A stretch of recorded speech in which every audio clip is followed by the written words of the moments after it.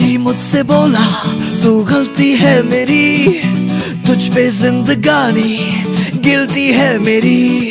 साबुन की शक्ल में बेटा तू तो निकला केवल झाग झाग झाग भाग।